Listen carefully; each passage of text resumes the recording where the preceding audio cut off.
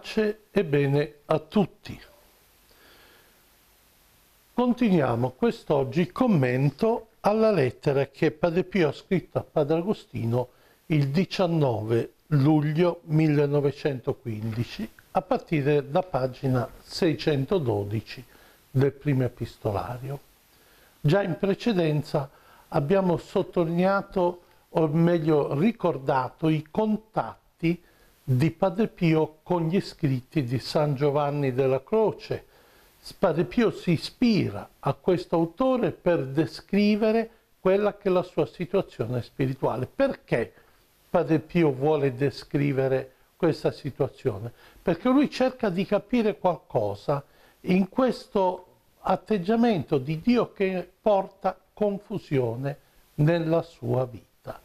È possibile che Dio porti confusione nella vita di qualcuno?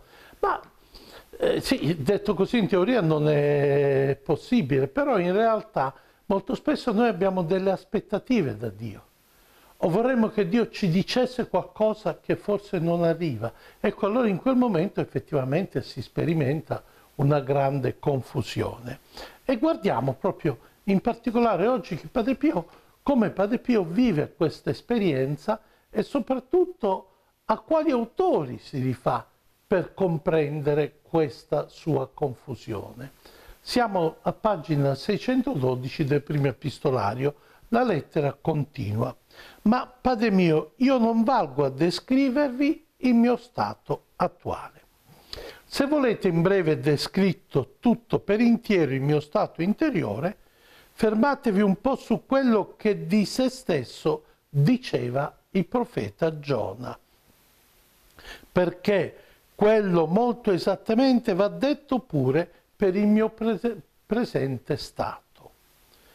Voi sapete la storia del profeta Giona, inutile che la ricordi, questo profeta che era stato inviato a Ninive a annunciare la conversione, ma gli ebrei con i niniviti non avevano dei buoni rapporti e lui diceva se io vado lì si convertono e Dio li perdona. Allora no, non ci vado, così Dio distrugge la città. E in realtà Dio non accetta questo discorso e così mentre Giona è sulla nave si scatena una tempesta. Si tira la sorte, il colpevole di questa tempesta è Giona, allora lui stesso accetta di essere buttato a mare. È un racconto, chiaramente un racconto biblico. E, buttato nel mare finisce nella pancia di una balena. E in questa pancia della balena Giona prega così. Tu mi, gestasti, tu mi gettasti nel profondo del cuore del mare e i gorghi mi travolsero, i gorghi e i flutti mi passarono sopra. Eccomi scacciato dal tuo sguardo, ma pure ancora vedrò il tuo santo tempio. Si noti bene, Padre mio, continua Padre Pio, fra parentesi, che la speranza neanche da me si è bandita. E continua Giona. Mi ingoiarono ed invasero le acque sino all'anima, l'abisso mi circondò, il pelago comprì il mio capo. Discesi basso sino alle radici dei monti, i catenacci della terra mi si chiusero per sempre. È il grido di Giona che poi otterrà salvezza e il Signore lo porterà sulle spiagge di Ninive dove, avrà, dove predicherà e dove la città sarà eh, convertita. Però di fatto Pare Pio si sente in questo pelago, in questa distruzione interiore e in questo abbandono interiore, si sente eh, soffocare, infatti continua, gittate ancora un po' lo sguardo in ciò che di se stesso dice il real profeta, salvatemi, o Signore, perché le acque sono entrate fino all'anima. Sto confitto nel profondo del fango, né posso sostenermi. Cercai sorreggermi nel mare e la tempesta mi annegò. Mi stancai dal gridare aiuto. Le mie facci diventarono rauche, perdetti gli occhi che tenevo fissi con la speranza nel mio Dio. Ecco, Padre, la fedele esposizione del mio deplorevole stato, espressa così esattamente da questi due grandi santi dell'antico patto. Il mio potere è angosciosissimo, che solo potrebbe rassomigliarsi alle sofferenze di colui al quale si togliesse ogni aria da respirare. Ecco, ci sono molte cose interessanti in questo testo. Innanzitutto questa grande capacità descrittiva di Padre Pio, che dicevo prende in qualche modo dagli scritti di San Giovanni della Croce, ma poi reinterpreta a suo modo. Il mare in questa immagine la fa da protagonista.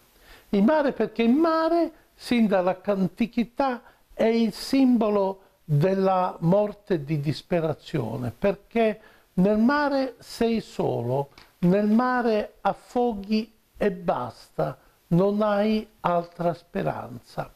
Ultimamente un autore ha presentato un po' la differenza tra la notte oscura e la vita normale del cristiano. Nella vita normale del cristiano, il cristiano è come se fosse in mezzo a questo mare con la sua barca e deve solo alzare la vela e alzando la vela cosa succede? Che il soffio dello spirito lo spinge verso la riva. Se lui non vuole alzare la vela, se lui cerca altri mezzi, è chiaro che la barca si disperde. Per cui deve avere il coraggio di lasciarsi guidare dallo spirito. Quello che è nella notte oscura, sì, viene guidato dallo spirito, ma non ha la barca. E lì deve fidarsi solo di Dio che può spingere col suo soffio questa persona verso la riva, ma non ha nient'altro. Allora si sente prima di tutto affogare, sente che la sua vita crolla e sembra quasi distrutta. Ma poi Padre Pio continua. Per carità, non vogliate trovare esagerata questa mia similitudine, che anzi tengo ad aggiungere, ad onore del vero, che essa pallidamente viene rassomigliando un tal patire.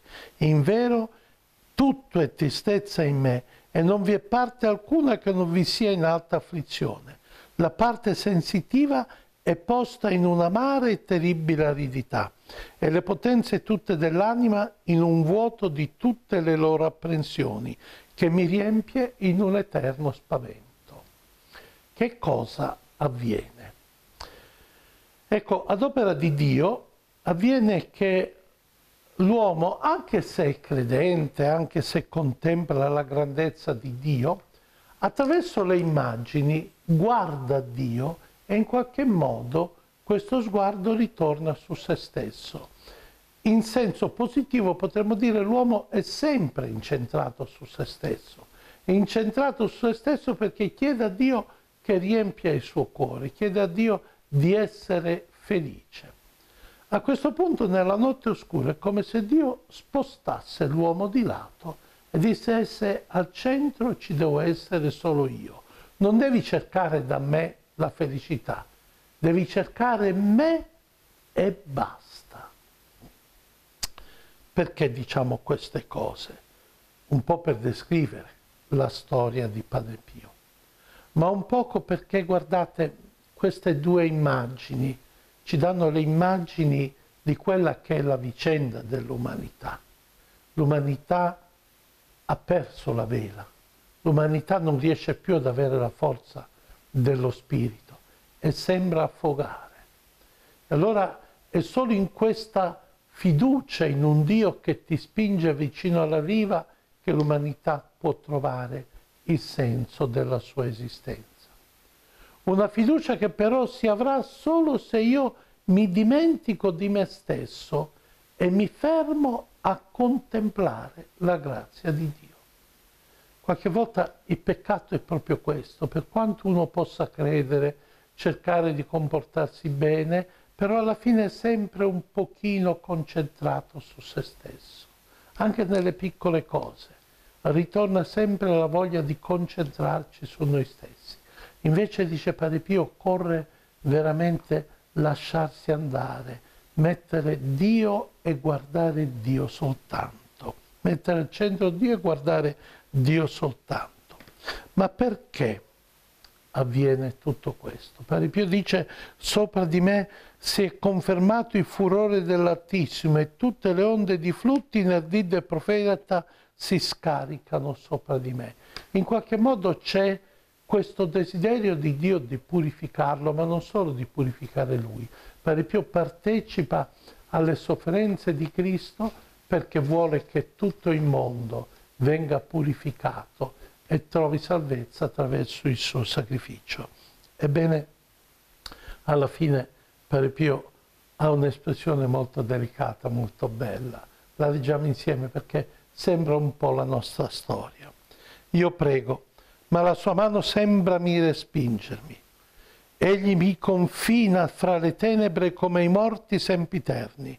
La sua mano va innalzando intorno a me un edificio che tutto lo circonda di fiele e di fatica. La sua mano non si può tollerare.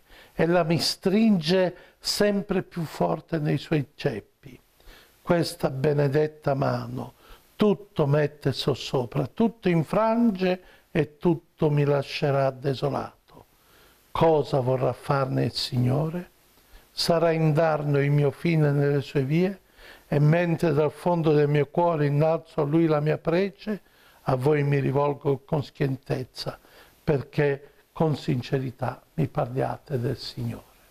Padre Pio non ha altra speranza che il direttore spirituale gli parli di Dio. Ecco, il massimo dell'umiltà di questo frate. Sa bene che Dio lo ama, sa bene che Dio gli vuole bene e continuerà per tutta la sua vita ad amare Dio, ma è così umiliato ed è così piccolo nella sua vita che non ha nemmeno il coraggio di sentire dentro di sé la voce di Dio, ha bisogno di qualcuno che gli parli.